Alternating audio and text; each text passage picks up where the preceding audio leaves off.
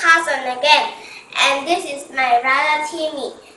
And now we are going to do invisible coin under a glass. All we need is a coin, 10 cents or 20 cents or 50 cents will do, and a glass cup, small or big, doesn't matter, and some water.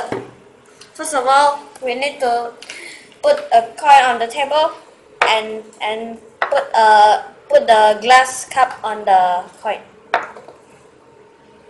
And now we are going to put water on the cup and let's see what you have in the cup and let's see what the sand will do. What coin? What cent? Glass. It's a glass. Oh, let's see what will happen. Wow, it disappears so quickly. It really Huh? It really did, car. Good luck!